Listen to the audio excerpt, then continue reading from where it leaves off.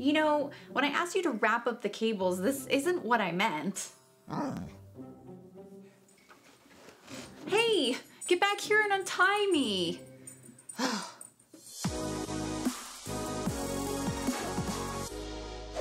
Hello, filmmakers. Ash here, and welcome to Film It Yourself. When your film shoot is over and everyone is rushing to wrap the set, it can be tempting to rush through wrapping up equipment.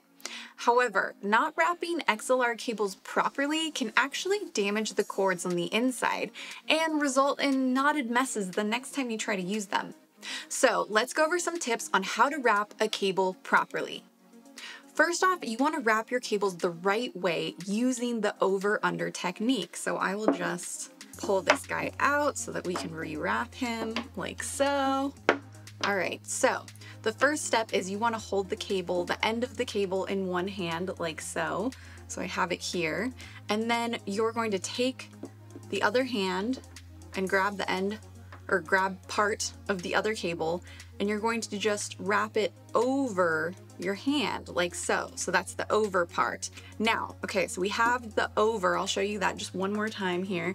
So I just grabbed part of this and I just go over my hand like so and like that. Voila, pretty easy peasy. So the under is the same thing. I'm just gonna grab like so, and then I'm going to twist my wrist in. So I twist the whole cable. Let's see here, get in frame. So we'll do the over one more time.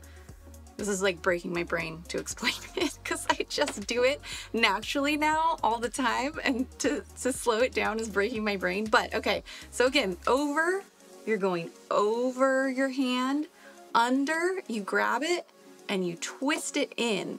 So you can see right here that I'm twisting the cable in so that there is a, it crosses over itself here, you can see. And I twist it in and that is the under. So that's how you do the under. And then you're going to do over again. So over my hand and then twist under. Why it's under when you're kind of just twisting it and still putting it on top of your hand. I don't know. Don't think about it too much. But we'll, try, we'll do it again. So we just did an under, so we're gonna do an over again. And you can see here that the cable has this muscle memory because once you wrap these cables over and over again that way, it's actually going to want to naturally wrap in that direction that you've kept it stored as. And so that will make this technique easy and easier as you go. So then twisting again here, you can see, and that's the under, and then over one last time. So there you go. So let me do it again, just so you can really see. One more time. Okay, so I like to hold the cable, you know, it really depends on your preference, but I like to hold it pointing towards me for this situation. This is sort of the way the cable is going.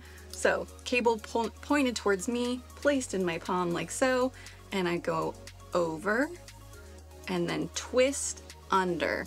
And then I sort of just tighten it so that they're about the same size. All right, over and then twist under and then over, and then twist, under, tighten, and one more over. And like I said, once you do this a bunch, it will become muscle memory and you can do it really, really fast. Ah! Oh no, he's not behaving now. Oh no, fine, fine, I won't do it really fast, cable. Okay, and there we go.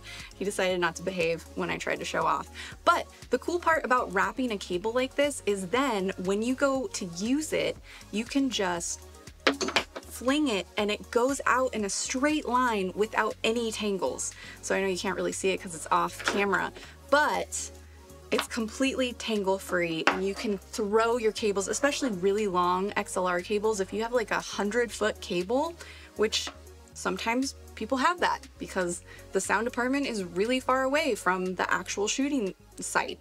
Um, this is really a helpful technique. So again, one last time, just so you can really see it, I have the cable in my hand and I can already tell he's gonna be, he's being fussy today. All right, over and then twist under, over, and then twist under, tighten, over, and then twist under. And let me show you one more time. I know I've shown you like a million times, but I feel like it's a little tricky sometimes when you haven't done it before. I'll show you one more time and I will point it towards this camera. So in my hand, over, twist, under, over, twist, under, over, twist, under. There we go.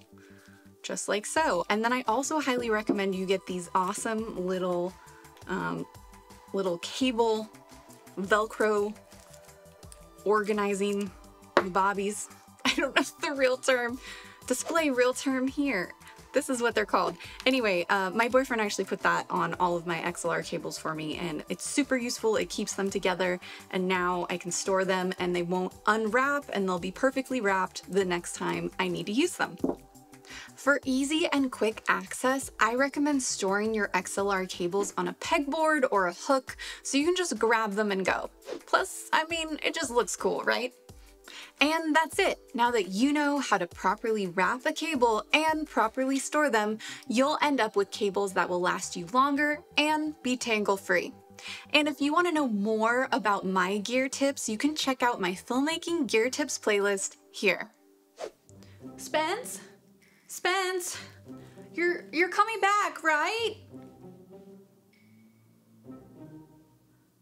I'm sure he's coming right back.